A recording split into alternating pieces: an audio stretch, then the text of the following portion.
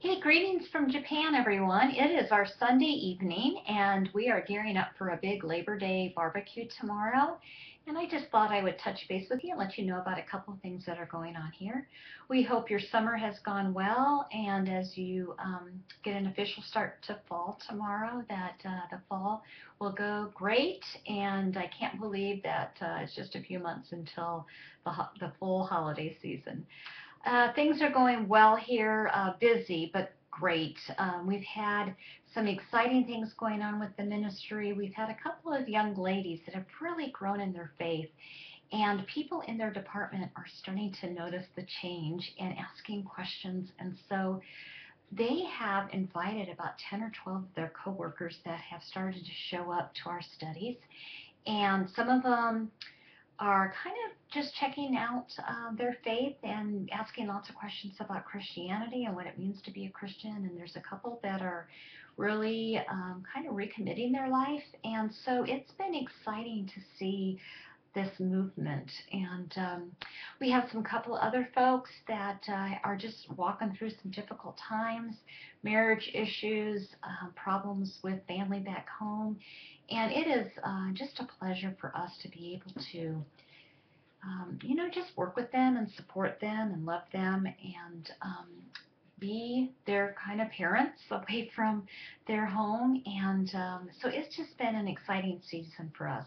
It has been very busy as we have lost some significant leaders um, on our team and that have helped us with the ministry. And so the burden for several areas of ministry focus are falling more on me and Lou until we can uh, get some new folks trained in leadership.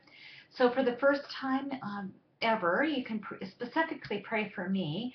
Not only am I uh, doing all the cooking for our um, evenings and the menu planning, but um, for the first time ever, I'm really kind of heading up our children's ministry. We had a young couple that was doing it for the first year we were here, and they left us, and we haven't had anybody uh, step up to to kind of take that over. So fortunately, I've, I've built a good um, volunteer staff, but it's still difficult. I've never picked out children's curriculum before. I'm not familiar with doing children's crafts, and so it's really a stretch for me. So please just pray that I'll be able to juggle uh, both the domestic side of the ministry, the ongoing uh, mentoring relationships I'm developing, and some additional responsibilities that I'm picking up. Lou, too, is picking up a couple of extra things and, and because of some leaders that have left. And so just be praying for us um, with that.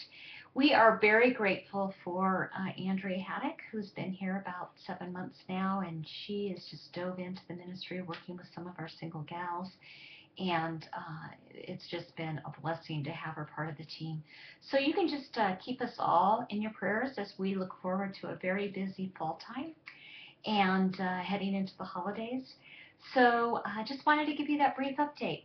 Hope all is well with you, and um, we will touch base again soon. Have a great Labor Day, and uh, thank you again for your love, your prayers, and your support. Blessings to you.